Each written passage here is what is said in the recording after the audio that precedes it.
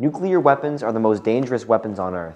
One can destroy a city, killing millions, impacting the use of landmass for future generations. 22,000 nuclear weapons exist in our world today. Two Russian men, one in 1962 and the other in 1983, may have saved the world from catastrophe. During the Cuban Missile Crisis, Russian Navy officer Vasily Arkhipov refused to authorize the use of nuclear torpedoes against the United States after two senior officers voted to strike with the warheads.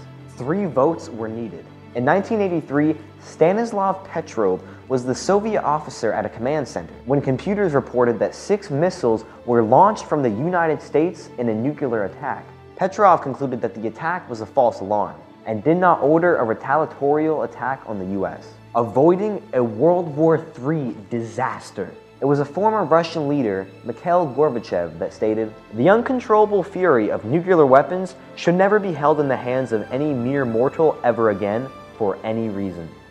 Join the movement, a voice for the next generation. Subscribe now. Thanks for watching.